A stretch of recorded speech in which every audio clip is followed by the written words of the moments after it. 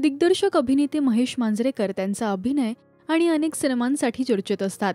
ते त्यांचं स्पष्ट मत अनेक विषयांवर मांडत असतात. आता बॉक्स ऑफिसवर मराठी सिनेमे का चालत नाहीत यावर महेश यांनी अमोल परसुरे यांच्या चॅनलला मुलाखत देताना त्यांचं मत मांडलंय. ते म्हणाले मल्याळम आणि मराठी सिनेमे प्रेक्षकांना नेहमीच काहीतरी वेगळं देतात. आणि हे मीच नाही तर सगळेच मान्य करतील. पण बॉक्स ऑफिसचा विचार केला तर मल्याळम चित्रपट तुफान चालतात. ती परिस्थिती मराठीची नाहीये. काही वर्षांपूर्वी मल्याळम सिनेमांची अवस्था मराठीपेक्षाही वाईट होती. मात्र आता परिस्थिती बदललीय. मल्याळम इंडस्ट्रीतले लोक आता दोनशे कोटींचे सिनेमे करतायत. आपण म्हणतो प्रेक्षक येत नाहीत. असं नाहीये. बाई पण भारी देवाला प्रेक्षक आले आणि सगळ्यांनी ते पाहिलं. त्यांना चित्रपटगृहापर्यंत आणण्यासाठी काय करावं लागेल याचा विचार करावा लागणार आहे.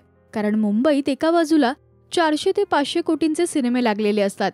अशा परिस्थितीत आपल्याला तीन ते चार कोटींचा मराठी सिनेमा करावा लागतो. आपल्याकडे सुद्धा के जी एफ सारखा मोठा आणि सर्वांनाच आवडेल असा सिनेमा बनणं आवश्यक आहे.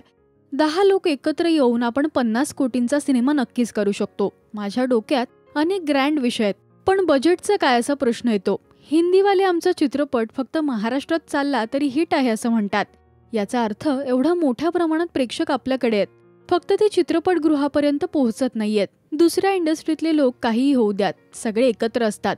पण आपल्याकडे असं नाहीये. मला फार वाईट वाटतं सांगायला की अर्ध्याहून जास्त लोक चित्रपट लागल्यावर तो पडला ना याची आधीच चर्चा करायला सुरुवात करतात. आपल्या चित्रपटांसाठी आपणच एकत्र आलं पाहिजे. ते जास्त गरजेचं आहे याशिवाय मल्याळम आणि हिंदी लोक वीस वीस कोटींचं प्रमोशन करतात. आपल्याकडे पन्नास लाखांचं प्रमोशन करण्यासाठी मारामारी होते. आजही महाराष्ट्रात अशी खूप गावं आहेत जिथे लोकसंख्या पन्नास हजाराहून अधिक आहे.